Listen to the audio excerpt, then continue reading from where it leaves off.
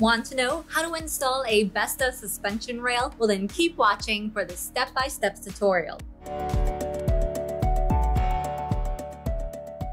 Hi, my name is Kim with Kimagine DIY, where I hope to help you imagine the possibilities with DIYs and crafts.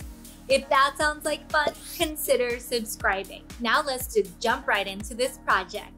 Here is our messy craft room, office, and studio. This is the leftover furniture from our previous apartment, and I'm rebuilding our old Besta TV unit in here to help organize our stuff on this wall. The first thing you want to do is to snap in the plastic clips.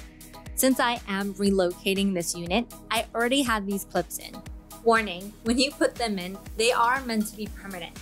I tried to pull one out to show you how they snapped in and nearly broke my cabinet. IKEA's instructions show this image like it's no big deal, but I'm also installing this mostly by myself, so I'm using a self-leveling laser to help me out. I positioned my laser about 91 inches high and 6 inches from the wall to center my entire unit against this wall. Then I used my stud finder and used blue tape to mark all the studs on the wall. Next, you're going to connect the suspension rail if needed. The hooks on the connector will snap into place on each rail. I also marked a line where the center of the rail would be to help me out in the next steps. To get my first measurement, I found the middle dimension of the double cabinet and marked my line on the wall. Use the suspension rail as a template to mark the holes. Remember to use this groove here to line up with the top of your cabinet line. Since I have upgraded my screw hardware, I'm making two holes per rail with at least one hitting the stud.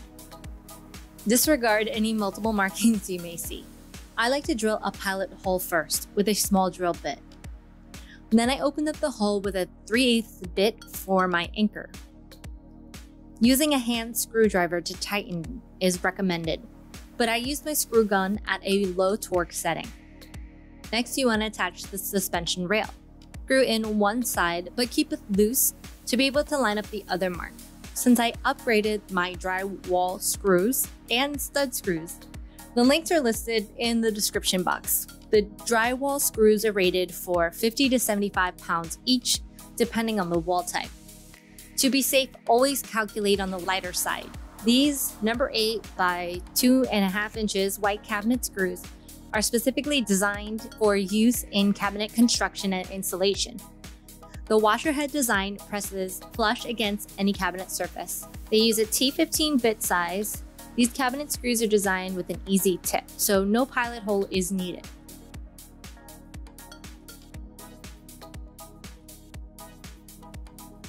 Number 7.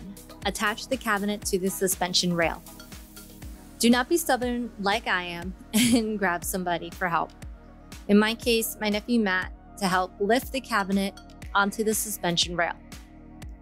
Then I like to shift the cabinet around to make sure it sits on it correctly. To secure the cabinet onto the rail, you can use the provided screws. I have lost most of them during the two moves. But to be extra safe, if the holes line up with the studs, I decided to use a cabinet screw. Since I had the towers already constructed, I wanted to double check my measurements so that they could fit underneath. Thankfully, it worked. You can continue using these seven steps for each cabinet. The instructions suggest working on the next adjacent cabinet.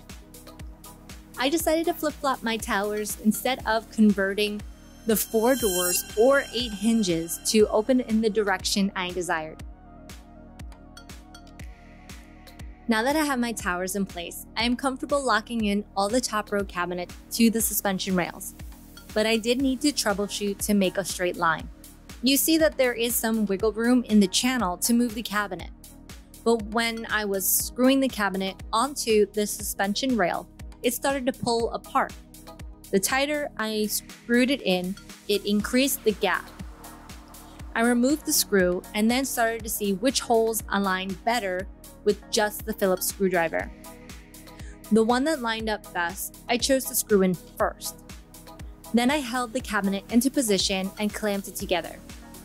I grabbed some extra wood screws, but made sure it wouldn't go completely through the other side. After screwing in the top screw, I needed to move the clamp to make sure the second one wouldn't create another gap. And here's the finished result. It helped me tremendously to organize all my craft and studio materials.